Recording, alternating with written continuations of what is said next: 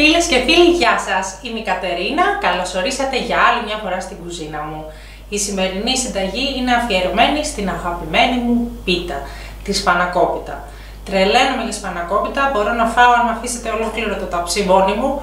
Ε, είναι νομίζω η κορυφαία, κορυφαία ελληνική πίτα. Πριν περάσουμε να δούμε τα υλικά τα οποία είναι απλά, θέλω να σας πω για την επιλογή των υλικών. Θέλω να προσέξετε να χρησιμοποιήσετε υλικά που σας αρέσουν. Δηλαδή, το τυρί που θα πάρετε, η φέτα, το κεφαλοτήρι που εγώ χρησιμοποιώ συνήθως για να εμπλουτίσω την ε, γεύση, θέλω να είναι αυτά που σας αρέσουν και θέλετε να τα βάζετε στη σαλάτα σας, στα μακαρόνια σας, να σας εκφράζει η γεύση. Μην πάρετε μια φέτα ό,τι να είναι. Θέλω να πάρετε αυτό που σας αρέσει καλύτερα. Όσον αφορά στο φύλλο, μπορείτε να χρησιμοποιήσετε έτοιμο φύλλο του εμπορίου, κυκλοφορούν καλά φύλλα στο εμπόριο. Θα ήθελα για τη σπανακόπιτα να πάρετε ένα χοντρό χωριάτικο φύλλο. Ε, ιδανικά βέβαια το φύλλο θα το φτιάξετε μόνοι σας. Έχουμε ανεβάσει συνταγή στο κανάλι για φύλλο, την οποία θα τη βρείτε στο link ε, επάνω και θα σας το βάλω και κάτω στην ε, περιγραφή. Ε, μπορείτε να φτιάξετε είτε απλό χωριάτικο φύλλο, είτε το σύνθετο φύλλο με στρώσεις που δείχνω με τη φυτίνη και το λάδι. Τη συνταγή για απλό χωριάτικο φύλλο μπορείτε να τη βρείτε στην συνταγή που έχουμε κάνει για την κοτόπιτα με πιπεριές και μανιτάρια. Πάμε να δούμε τα υλικά. Αν επιλέξετε να χρησιμοποιήσετε φύλλο του εμπορίου θα χρειαστείτε ένα πακέτο φύλλο, χοντρό χωριάτικο.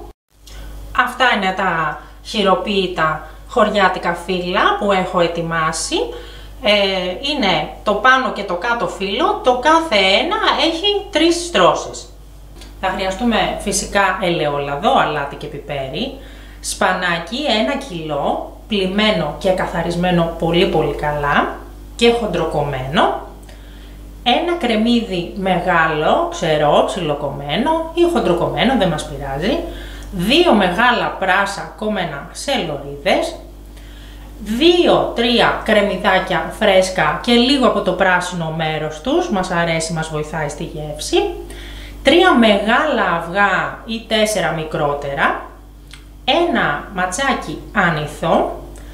Και φέτα 350 γραμμάρια. Και λίγο κεφαλοτήρι τριμμένο, προαιρετικά αυτό, αλλά εγώ θεωρώ ότι χαρίζει πάρα πολύ στη γεύση. Είναι περίπου 100-120 γραμμάρια το κεφαλοτήρι. Το σπανάκι εγώ πάντα το σοτάρω. Το σοτάρω μαζί με το πράσο γιατί θέλω να σοταριστεί το πράσο να βγάλει τη γλύκα του και να δέσουν ε, όλες οι γεύσεις και επίσης διαχειρίζομαι πολύ πιο εύκολα τον όγκο του σπανακιού μέσα στην κατσαρόλα καθώς και τα υγρά που θα μπουν στην πίτα. Ξεκινάμε ρίχνοντας το κρεμμύδι και το πράσο να σοταριστούν να γυαλίσουν. Τα πράσα τα πιέζουμε για να ξεχωρίσουν οι ροδέλες. Θα ρίξω τώρα και το φρέσκο πρεσάκι. Και σταδιακά τώρα θα αρχίσουμε να προσθέτουμε και το σπανάκι. Λίγο λίγο για να πέσει σταδιακά ο όγκος. Ποτάρω σε δυνατή φωτιά και ανακατεύω διαρκώς. Ο λόγος που σοτάρω σε, σε δυνατή φωτιά είναι για να εξατμίζονται όσο πιο γρήγορα γίνεται τα υγρά.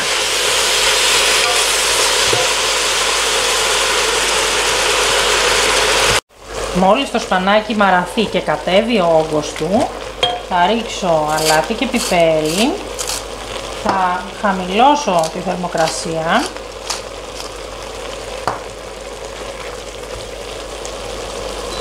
σε μέτρια και θα το αφήσω λίγο να μαγειρευτεί. Τον άνηθο θα τον ρίξω στο τέλος. Μαγειρεύω με ανοιχτό καπάκι, κοιτώντας το και ανακατεύοντας, για να παρακολουθώ τα υγρά. Ωραία και μετά από 5 λεπτάκια μαγείρεμα θα προσθέσω και τον άνηθο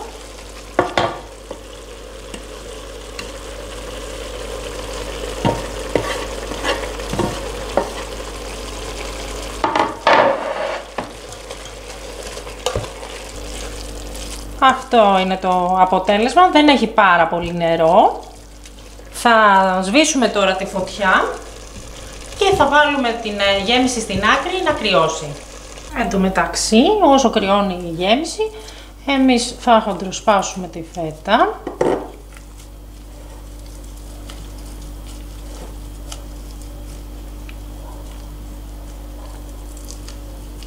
Και με ένα πυρούνι μπορείτε να την πατήσετε.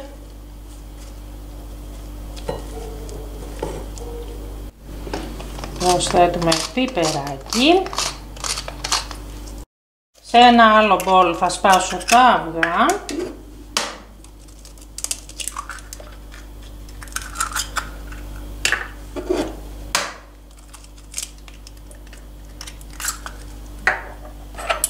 Και θα ανακατέψω ελαφρά με ένα πυρούνι. Λοιπόν και τώρα θα ρίξω τα αυγά στη φέτα. Πριν ρίξετε το μείγμα των αυγών με τη φέτα, βεβαιωθείτε ότι η γέμιση δεν είναι καυτή για να μην ψηθούν τα αυγά και γίνει νομελέτα. Έτσι, να έχει περάσει τουλάχιστον ένα 20 λεπτό θα έλεγα που έχετε αποσύρει την γέμιση από τη φωτιά. Το σπανάκι όσο μένει βγάζει υγρά, οπότε με μια τρυπητή κουτάλα θα το βγάλω από την κατσαρόλα και θα το βάλω σε ένα μπολ. Δεν θέλουμε πολλά υγρά στην πίτα για να μην μας ποτίσει το φύλλο. Θέλουμε τραγανό. Εδώ μπορείτε να το δοκιμάσετε στο αλάτι, πρέπει να είναι ανάλατο γιατί θα μπουν τα τυριά μέσα. Αφού μπει το αυγό δεν μπορούμε να το δοκιμάσουμε. Ανακατέψτε να πάει η φέτα παντού.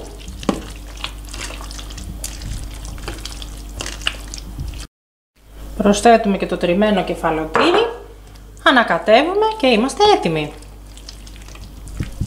Θα λαδώσουμε ένα ταψί και τα πλαϊνά, είτε με ελαιόλαδο, είτε αν έχετε φτιάξει το δικό σας φύλλο όπως σας έχω δείξει με το μείγμα ε, φυτίνης και λαδιού. Ρολάρουμε το φύλλο γύρω από τον πλάστη και το μεταφέρουμε πάνω από το ταψί και το απλώνουμε έτσι, με αυτόν τον τρόπο.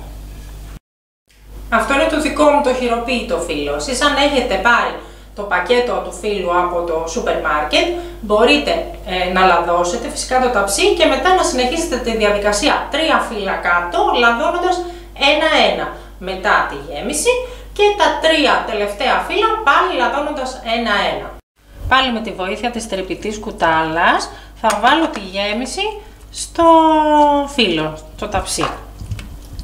Η τρυπητή κουτάλα είπαμε μας βοηθάει πάρα πολύ στο να ελέγχουμε την υγρασία. Δεν το θέλουμε τελείως στεγνό, αλλά δεν θέλουμε πάρα πολλά ζουμιά. Εάν του πάραμε την κατσαρόλα μέσα, το σπανάκι ε, βγάζει πάρα πολλά υγρά ακόμα, οπότε θα πρέπει να είμαστε προσεκτικοί. Η μέθοδος αυτή με την τρυπητή κουτάλα είναι η ασφαλέστερη για να ελέγξετε τα υγρά της πίτας σας.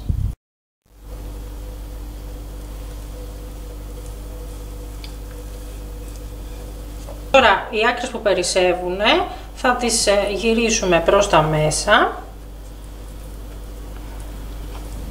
να κάνουμε ένα ωραίο κόφρο στην άκρη. Τελικό στάδιο, λαδώνουμε την επιφάνεια της πίτας.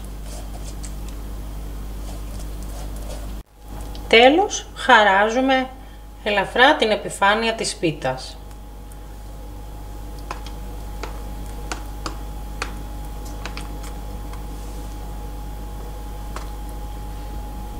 Είμαστε έτοιμοι για φούρνο, τον έχουμε προθερμάνει στους 180 βαθμούς.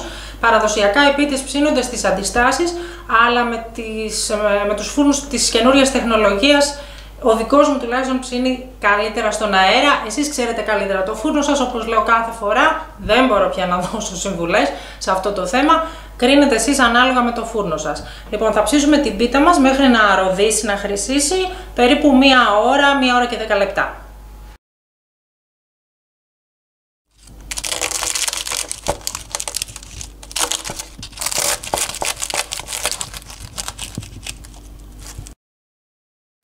Ένα ακόμα κόλπο για να σας κρατήσει τραγανό το φύλλο περισσότερο είναι το να ραντίσετε λίγο με τα χέρια σας με το που θα βγει η σπανακόπιτα από το φούρνο, να το ρατήσετε με τα χέρια σας λίγο νεράκι και να σκεπάσετε με μια πετσέτα.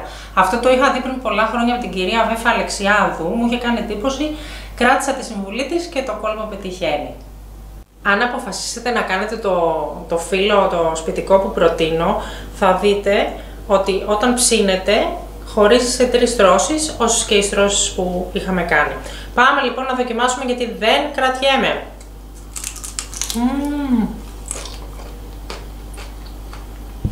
Αυτή λοιπόν ήταν η συνταγή μου για σπανακόπιτα, για την αγαπημένη μου πίτα, αυτή την πεντανόστιμη θεϊκή ελληνική πίτα που μου σκοβολάει.